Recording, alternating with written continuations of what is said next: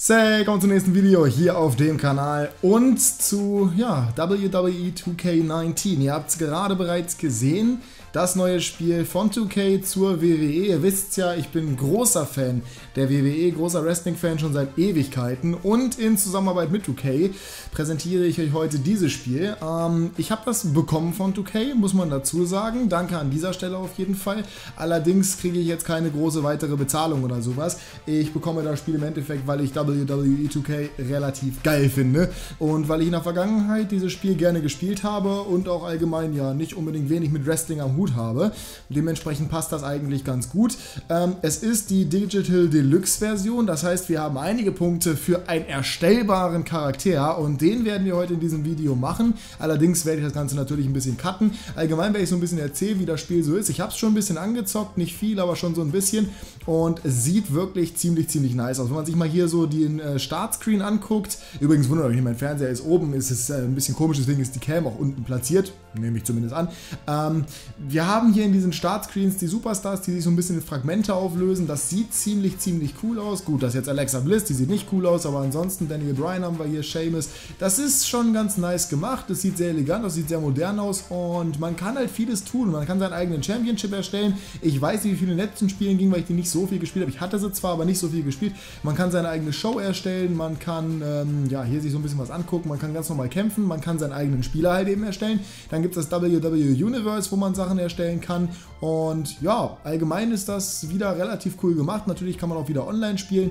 Es gibt relativ viele Optionen. Auch der Soundtrack ist wieder sehr, sehr gut gelungen, wie ich finde. Wenn man sich mal die Optionen anguckt, beziehungsweise da in die Jukebox, nicht ins Ziel, sondern in die Jukebox geht. Wir haben nicht so viele Lieder, aber dafür ganz cool dabei. Eminem ist beispielsweise drauf. Dazu haben wir hier äh, Slipknot haben wir, wir Evil Nation, die kennen wir wahrscheinlich von Sale, wenn dann überhaupt. Post Malone haben wir drauf mit Rockstar. Deswegen muss ich im Hintergrund auch die Musik jetzt einmal ausmachen. Ist schon ziemlich, ziemlich cool, muss ich sagen. Gefällt mir ziemlich, ziemlich gut. Und ja, beispielsweise Metallica auch. Also der Soundtrack auf jeden Fall nice. Und ich würde sagen, ich habe es noch nicht gemacht, keine Ahnung, wie es aussieht. Ich erstelle mal meinen Spieler und wir sehen uns am Ende dann. So, am Anfang direkt hier kann man anscheinend auswählen zwischen der Art und Weise, wie der Wrestler sein soll. Riese ist hier eine Option, sehen wir als Beispiele Braun Strowman, Kane und Big Show. Dann haben wir die Cruiserweights, da sehen wir beispielsweise, oh Gott, ich vergesse den Namen, Cedric Alexander und, ach, ich vergesse die Namen jedes Mal aufs Neue. Dann haben wir Shinsuke Nakamura, Dean Ambrose und Samoa Joe bei Schläger.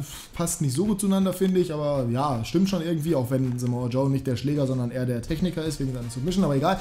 Techniker haben wir Cesaro, Kurt Angle und oh, auch den Namen vergesse ich jedes Mal aufs Neue. Er will auch gerade nicht in meinen Kopf rein, aber ich weiß, wie er heißt eigentlich. Und bei Kraftpaket haben wir John Cena, Brock Lesnar und Roman Reigns. Und das ist das, was ich wählen werde. Aussehen und Moves und so zeige ich euch am Ende. Aber das wollte ich kurz präsentiert haben, weil ich das eigentlich ganz cool finde, auch die Erklärung. So, wir sind angekommen bei der Verteilung meiner Stilpunkte. Ähm, ihr seht schon, ich habe, also ihr seht noch gar nichts. Ja, ihr seht weder das Aussehen meiner Superstars noch irgendwie den Namen, nur das, die Gesamtbewertung bisher. Aber ich habe 20 Stilpunkte, warum weiß ich nicht. Auf jeden Fall habe ich jetzt schon ein paar vergeben und zwar einmal hier für Stärke und dazu noch für Pin-Befreiung. Ich weiß noch nicht so ganz, was ich machen soll. Also grundsätzlich, weil ich ein äh, super, ja nicht super Heavyweight, also kein Riesen, sondern so darunter die Gewichtsklasse 1,99 groß gewählt habe. Ich will eigentlich nicht so Agilität und sowas machen, weil das gibt keinen Sinn. Aber aber sowas wie Griffoffensive und Reversal-Offensive, ja, das schon eher, das machen wir einfach auch mal. Ähm, ich weiß jetzt nicht genau, ich habe noch ein paar Stilpunkte auf jeden Fall frei. Äh, das ist ganz schön, aber ich, ja, ich habe auch wirklich noch nicht verstanden, wie das Ganze hier funktioniert. Es ist wirklich sehr, sehr äh, detailliert. Wenn man, sich, wenn man die Zeit hat, kann man sich sicherlich auch alles durchlesen, aber die Zeit habe ich halt eigentlich nicht. Ich muss anscheinend jetzt Techniker wählen, äh, ist anscheinend so, aber ist auch in Ordnung. Äh, jetzt machen wir OK. Und dann können wir das nächste wählen oder ich weiß nicht, ob es ins nächste Feld geht. Nee, ich habe noch 17 Punkte. Das heißt, ich werde einfach noch mal ein bisschen hier rumgucken. Achso, es geht noch übrigens extrem weit hoch. Ja, also man muss jetzt nicht irgendwie Angst haben, dass man irgendwann nicht mehr weitermachen kann. Man kann anscheinend noch sehr weit gehen. Äh, ich werde mal schauen, was ich mache und natürlich werden wir noch ein Match machen, damit ihr auch mal so ein bisschen seht, wie das hier läuft. So, weil ich nicht weiß, ob ich äh, überhaupt mit meinem Spiel einfach so spielen kann oder ob ich den jetzt nur in diesem Karrieremodus, den ich jetzt gerade nicht starten will, spielen kann, äh, zeige ich euch den mal ganz kurz. Er sieht so aus. Äh, er heißt Satisfaction. Also eigentlich wollte ich den Namen getrennt machen, aber das ging dann nicht mit dem Hot-Name und deswegen heißt er jetzt zusammen Satisfaction. Ähm, ich mag das Wort einfach, keine Ahnung, das ist so mächtig, aber gleichzeitig elegant. Finde ich ganz cool. Ähm, wir gucken uns mal meinen Spieler kurz an, ja, also im Endeffekt das Aussehen, naja, das Aussehen seht ihr ja, Brustpanzer, 1,99 groß, 134 Kilogramm schwer, sehr hellblaue Augen, schwarze Haare, sind halt die Standardsachen, die man nur hat. Aber wir gucken uns mal ganz kurz sein Moveset an, beziehungsweise den, man kann nicht so viel auswählen am Anfang, aber den Finisher und den Signature Move, weil das sind im Endeffekt eh die interessantesten Moves. Ich bin auch gleich mal gespannt, mit wem ich gleich spielen werde eine Runde, weil ihr werdet natürlich noch kurz was sehen. Ähm, ich denke mal, ja nee, Randy Orton habe ich sogar schon gespielt, also mein Lieblingswrestler, wie ihr eventuell wisst, was ich ja schon ein paar Mal erzählt habe, aber ich, ja, wir werden mal sehen, äh, mit wem ich dann spiele.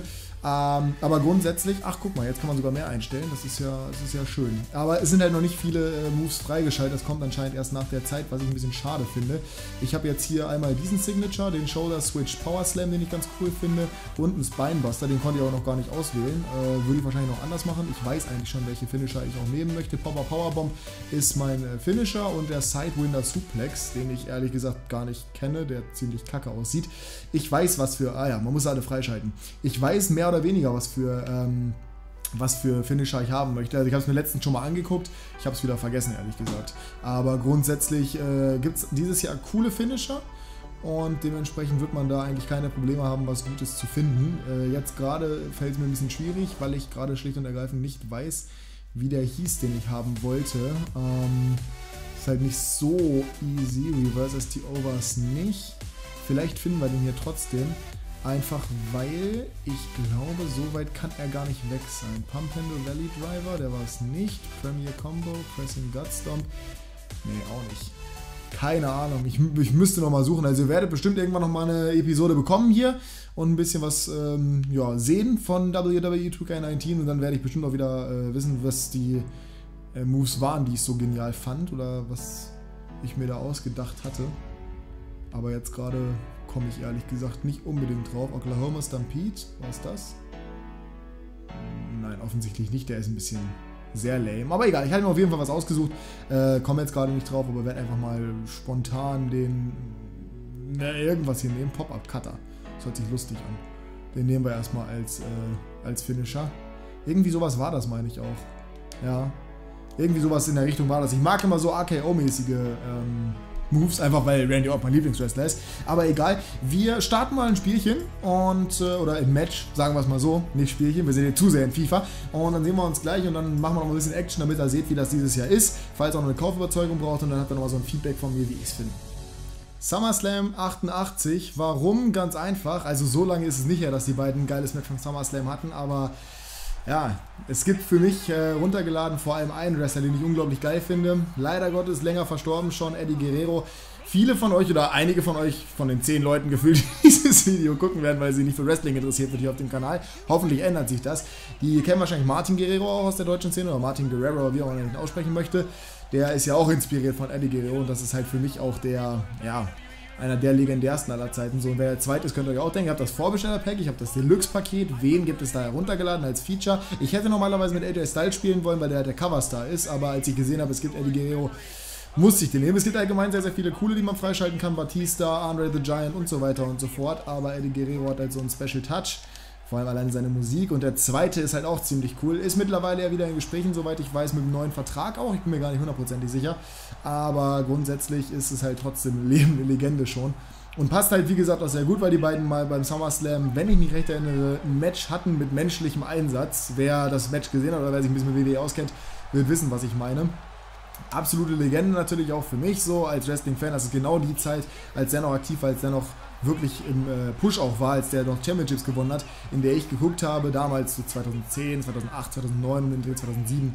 Das war, ja, das war meine Zeit auf jeden Fall. Ja, so 2008, 2009, 2010 wahrscheinlich am ehesten. Mittlerweile auch wieder ziemlich doll, aber damals schon sehr, sehr doll. Und ja, ich bin mal gespannt, was jetzt passiert. Ihr seht die Highlights. Überraschung. Das geht nämlich auch bei WWE, nicht nur bei FIFA. Dass es sowas nochmal in einem WWE-Spiel geben würde, in einer vollen Kombination, das ist halt auch schön. Eddie Guerrero in einer Vollversion gegen Rey Mysterio. Oh, in einer Vollversion. Also keiner erstellt, keiner runtergeladen oder irgendwas. Das ist schon ziemlich, ziemlich cool. Ich spiele übrigens auf dem schwersten Schwierigkeit, äh, nicht, nicht auf dem schwersten, auf dem relativ hohen Schwierigkeitsgrad, soweit ich weiß. Keine Ahnung. Und mit nicht so schnellem Schwung, aber mir geht es jetzt vor allem darum, euch ein paar coole Moves zu zeigen. Von daher wird äh, Ray jetzt nicht so viel machen in diesem Match, das kann ich schon mal ankündigen. Aber vor allem geht es natürlich um die Finisher und Signatures. Die Reversals und so weiter und so fort sind übrigens genauso einfach wie die letzten Jahre. Also grundsätzlich, wenn man dieses Spiel spielt und nichts kann, man wird eigentlich ganz gut durchgeleitet. Ich weiß nicht, ob es irgendwie Anzeigen gibt, wie in FIFA, so Hilfsanzeigen, wenn man das Spiel wirklich gar nicht kann. Aber ich könnte es mir zumindest vorstellen, weil grundsätzlich äh, ist dieses Spiel sehr anfängerfreundlich gestaltet und man hat auch Schwierigkeitsgrade, bei denen es halt eben nicht nötig ist, dass man seit Jahren schon spielt. Und ich spiele das Spiel halt äh, mit Unterbrechungen seit Ewigkeiten. Und bin auch sehr froh, dass 2K mir das zur Verfügung gestellt hat. Liebe Grüße an dieser Stelle nochmal an die Beteiligten wenn ihr dieses Video sehen solltet. Einfach weil, ja, ich das Spiel mir sowieso gekauft hätte und weil ich seit längerer Zeit jetzt wieder großer Wrestling-Fan bin. Momentan zeitbedingt gucke ich nicht so viel, aber es ist halt einfach ein geiler Sport, auch wenn viele ihn nicht als Sport sehen oder als, äh, ja, als schlecht ansehen, weil es halt irgendwo Gewaltverherrlichung ist, aber so gesehen ist es ja alle Schauspielerei. Das ist schon beeindruckend, was die mit ihrem Körper alles anstellen und äh, durch was die ihren Körper durchbringen. Ähm, von daher, ja, bin ich sehr froh, dass ich es wieder zocken kann und werde sicherlich auch, wenn FIFA rausgekommen ist, relativ viel spielen. Wahrscheinlich nicht so viel wie FIFA, aber trotzdem nicht wenig auf jeden Fall.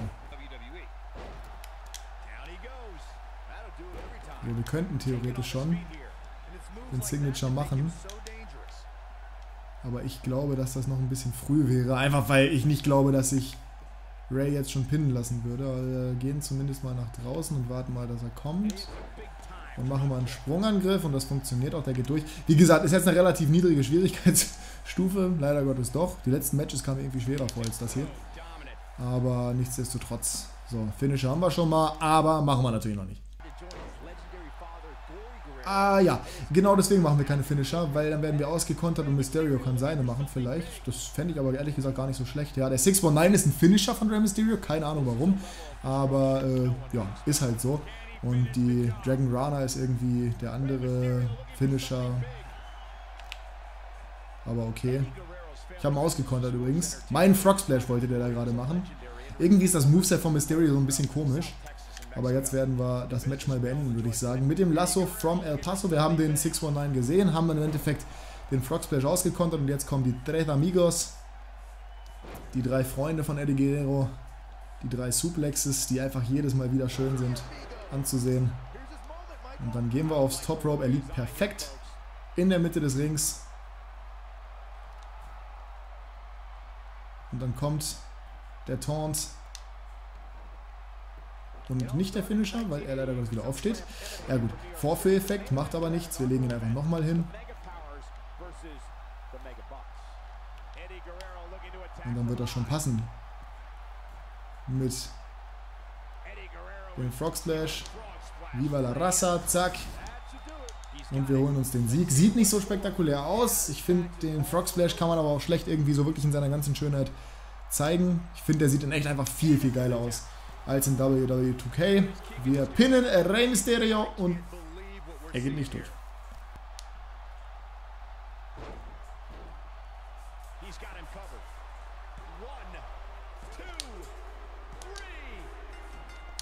Ja. Oder man wird ausgekontert und verliert. Das ist echt. Ich konnte das mal deutlich besser. Ich war da mal deutlich stärker drin im Auskicken, aber das war gerade so unerwartet. Aber gut, das ist irgendwie halt auch passend. Ne? Es ist halt so ein äh, Upset-Victory. Er hat hier einfach, äh, ach ne, das sieht man jetzt gar nicht. Er hat rein zufällig, so kurz aus, aus Nichts wirklich, äh, meinen Move gekontert, meine Powerbomb. Hat mich rumgedreht, hat seinen Finisher gemacht. Hier habe ich den Frog Splash gekontert und dann kam im Endeffekt ja, der Sieg für Rey Mysterio unerwartet, aber gut, das war es halt im Endeffekt wie damals. Ne? Damals war es so, dass Vicky Guerrero dafür gesorgt hat, dass er gewinnt, jetzt war es der Zufall.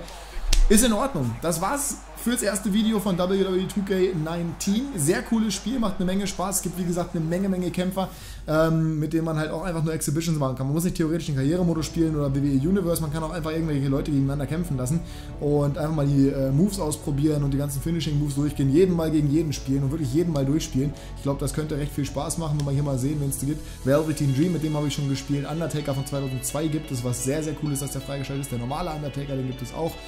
Ähm, dann solche Leute wie Tal Dillinger beispielsweise, halt auch nicht starken unbedingt, aber die machen auch Spaß zu spielen, weil die teilweise auch sehr, sehr coole Finisher haben. Sin Cara beispielsweise, ähm, äh, Shelton Benjamin, finde ich, hat einen sehr niceen Finisher. Äh, Shane McMahon ist natürlich wieder dabei, wie immer ist die McMahon-Familie natürlich auch im Spiel vertreten. Rowdy Roddy Piper ist dabei als DLC. Dann haben wir beispielsweise Ricky Morton dabei, äh, Ricky Martel haben wir dabei, also wirklich Rhino, ähm, halt die ganzen Leute, die aktiv sind in der WWE, Razor und Akam beispielsweise auch. Aber auch ältere Leute, die man halt so von früher kennt. Randy Savage beispielsweise oder Papa Shango, was ich sehr, sehr geil finde, muss ich auf jeden Fall mal spielen. Sind halt auch noch Leute, die ich kenne aus meiner ganz, ganz großen Vergangenheit. The Miz sieht wieder relativ stark aus, äh, hat ein sehr cooles Moveset dieses Jahr. Kofi Kingston ist relativ äh, gut getroffen worden und die sehen auch halt alle relativ realistisch aus. Der einzige, bei dem ich ein bisschen enttäuscht bin vom Ingame-Aussehen, ist äh, Dolph Ziggler. Der, den finde ich haben sie nicht so gut getroffen und den mag ich auch extrem gerne. Also hier auf dem Bild sieht er noch okay aus, aber Ingame, nee. Und seine Haare sind ein bisschen zu dunkel. Aber gut, das ist Meckern auf hohem Niveau. Die haben das Spiel schon gut gemacht und ich werde mich freuen oder ich würde mich freuen, wenn es euch gefallen hat, dieses Video. Dann lasst einen Daumen nach oben da, wenn ihr mehr sehen wollt. Äh, schreibt gerne mal in die Kommentare, was ihr sehen möchtet. Ob ihr meine Karriere sehen möchtet, ob ihr einfach so Matches sehen möchtet, ob ihr Predictions sehen möchtet, ob ihr irgendwas sehen möchtet. Und äh, wir sehen uns beim nächsten Mal wieder. Eventuell mit FIFA, vielleicht mit WWE 2K19. Ich wünsche euch bis dahin noch einen wunderschönen Tag. Passt auf euch auf, macht's gut, haut rein und ciao.